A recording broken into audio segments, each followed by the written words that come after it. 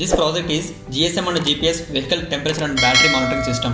Here hardware connections are Arduino and its daughter board along with power supply, 16 by 2 LCD, GSM modem and GPS are connected to Arduino through UART. Here LM35 temperature sensor and battery voltage circuit connected to Arduino analog pins. GPS module and its antenna. Antenna always faced to sky.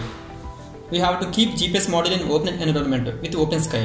GPS will take long time to get accurate values in indoor. So keep it in open environment. Here we have open environment. Sometimes GPS will take few minutes to get latitude and longitude values. Now power on this.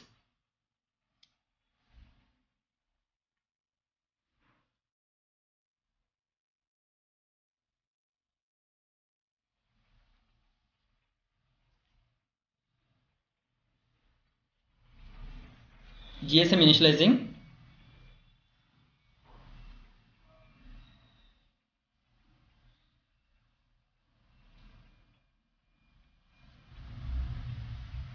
on LCD it is asking send a message to store mobile number now we have to send star mobile number in SMS to this GSM modem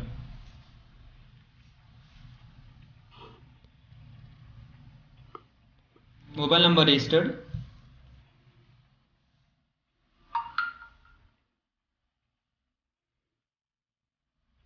Here we are going to monitor vehicle engine temperature and battery voltage.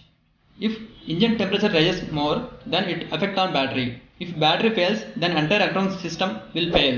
This leads to more damage. In order to prevent this kind of damage, we have to read engine temperature and battery voltage continuously.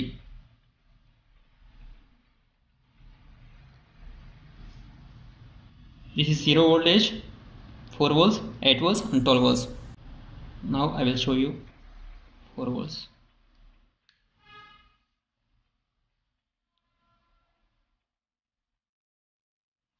Eight volts and twelve volts. If temperature more than 130 degrees, SMS will come.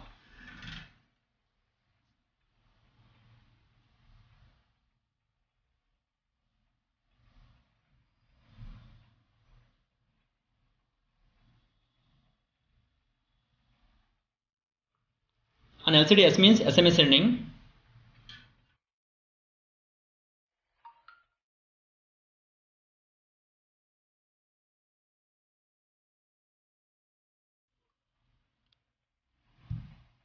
If we send star hash, then we will get temperature and battery voltage in SMS.